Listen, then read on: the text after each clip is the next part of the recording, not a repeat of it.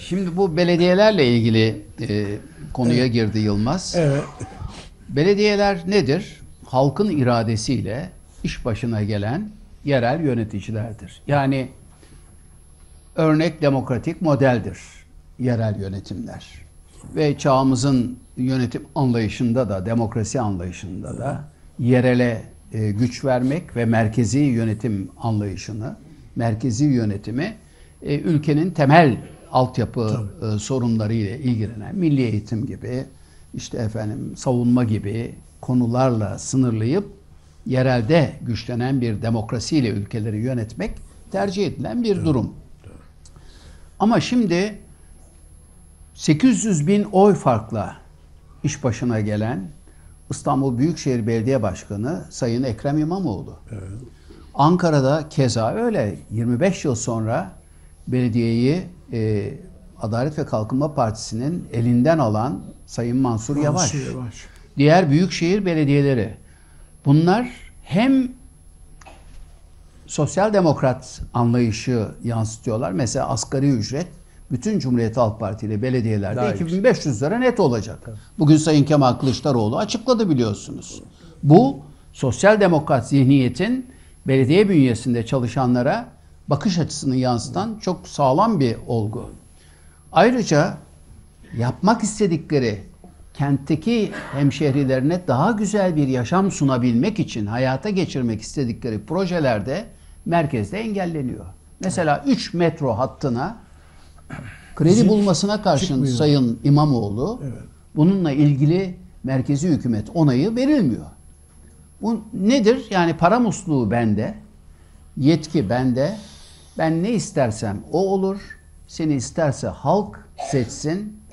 Başaramaz. Bu durumda ne yapmalı belediyeler Yılmaz? Yani benim gördüğüm halka gidip bütün bunları tek tek anlatmak, kapıları çalmak ve bakın değerli hemşerilerim ben sizin için şunu yapmak istiyorum. Bunun için de bu adımları attım ama Ankara benim elimi kolumu bağlıyor. Ne yapabilirim diye onlara da sormak ve onları bilgi sahibi ederek kamuoyu oluşturmak. Tabii şüphesiz öyle. Ee, zaten de öyle oluyor. Yani e, doğrusunu isterseniz biz mesela İstanbullular e, Ekrem İmamoğlu'nu e, veya Ankaralılar e, Mansur Yavaş'ı veya Adanalılar Zeydan Karalar'ı e, bize uzay istasyonu yap, biz uzaya çıkalım falan diye seçmedik.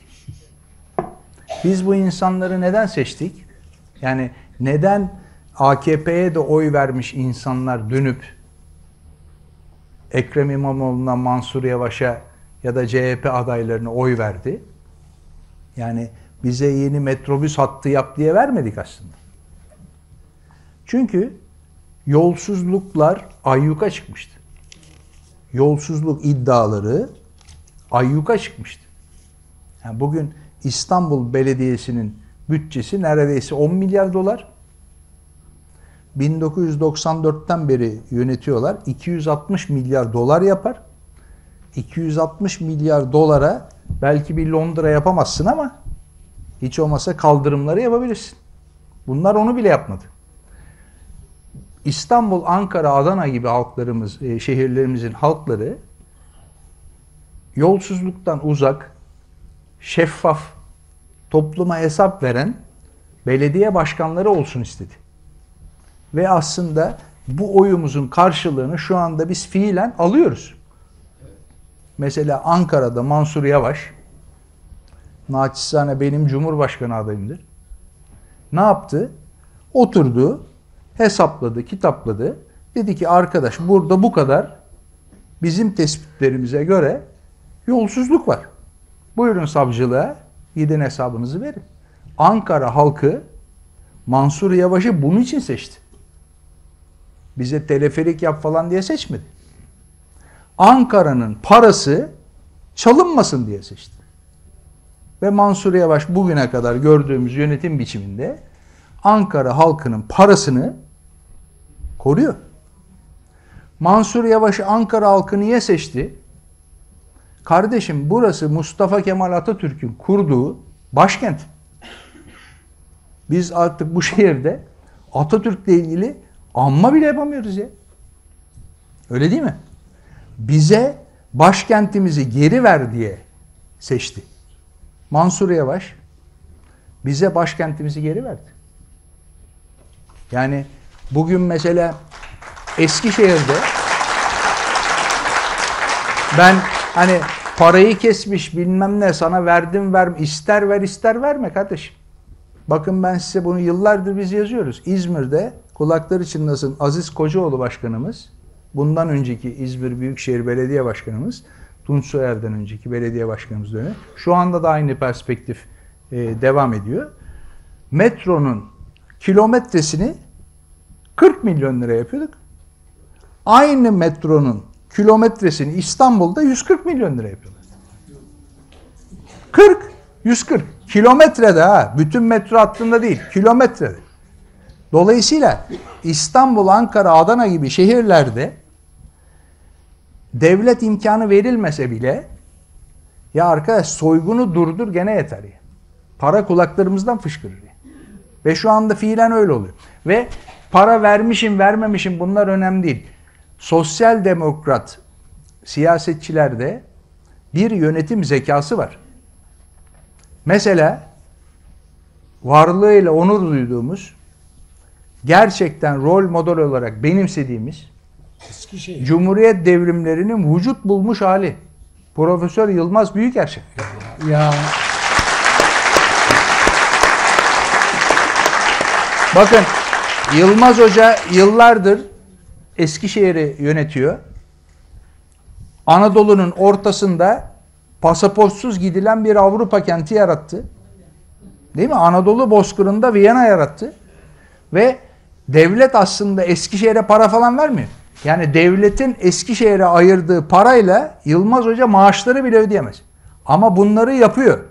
Nasıl yapıyor? İşte o sosyal demokrat, Atatürkçü, yurtsever, çalmayan, halkın parasını çarçur etmeyen Türk zekasıyla yapıyor. Bunun aynısını Aydın'da görüyoruz. Öyle değil mi? Özlem Çerçu, Topuklu. Topuklu Efe. Değil mi?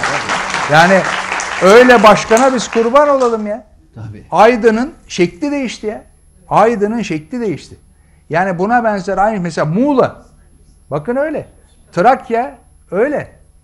Yani bakıyorsunuz mesela Bursa'ya Nilüfer. yani Bir tek. Evet. bir tek Nilüfer. Nilüfer. Ama mesela Bursa halkı bugün mutlu mu? Bence değil. Değil. Evet. değil. Yani bu böyle bir şey. Bakın Yılmaz Hoca'nın yarattığı yarattığı Cumhuriyet devrimi o kadar başarılı oldu ki Eskişehir'e öykünen Bolu CHP'ye geçti. Çünkü Bolu halkı da Eskişehir halkı gibi yaşamak istiyor. Bilecik halkı Eskişehir halkı gibi yaşamak istiyor. Kırşehir halkı Eskişehir gibi yaşamak istiyor. Yani bu insanlar şehirlerinde en ufak bir sosyal hayat olmadığı için hafta sonları Eskişehir'e gidiyorlardı. İnsanlar istiyorlar ki kendi yaşadıkları şehir de Eskişehir gibi olsun. Yılmazcığım- Eskişehir'de uzay merkezi var ya. Tabii. Ben tabii. ben buradan bazen e, hafta sonunda e, eşimle beraber biz Eskişehir'e gezmeye gidiyoruz ya. Tiyatro, konser izlemeye gidiyoruz. Mutlu insanlarla, medeni insanlarla sağlıklı bir hava solumaya gidiyoruz Eskişehir'e. Yani dolayısıyla parayı kesmişin kesmemişin hiç verme kardeşim. İzmir'e verdiniz mi? Biz mutluyuz. Şimdi